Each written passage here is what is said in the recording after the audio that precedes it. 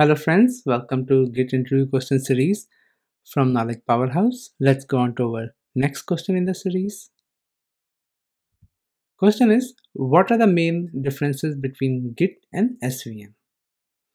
So if you are in an organization where SVN is quite popular and they are trying to go towards Git, then you can be asked this question like, why do we have to go for Git? Why not we use just SVN? So let's see what is the answer.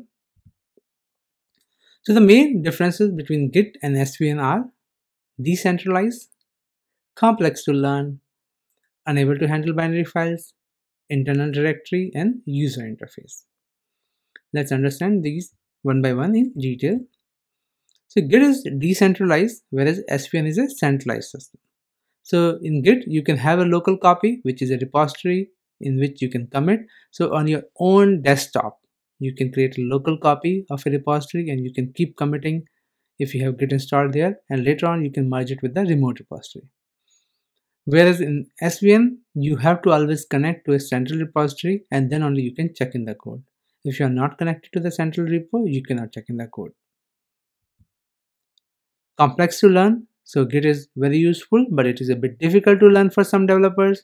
It has more concepts and more commands to learn whereas svn is much easier to learn. You're just checking in checking out. Like it looks very easy when you're using svn but although it takes some time to learn but it is very useful for almost all the use cases in a project. Unable to handle binary files. So git is slow when it deals with large binary files that are changing frequently. Whereas if they do not change frequently you can keep on storing them Whereas SVN can handle large binary files very easily. So you can use SVN for that kind of a scenario. Then we have internal directory.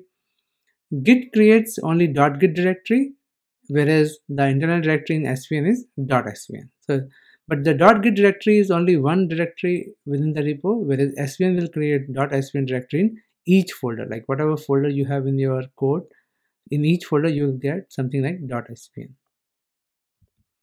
Then user interface. So Git currently doesn't have very good UI, but still the Git online UI is considered quite useful. Whereas SVN has many good user interfaces, but I would say that Git is still catching up and with the popularity of Git, there are very nice UIs coming up and you can use them. So let's reiterate the differences.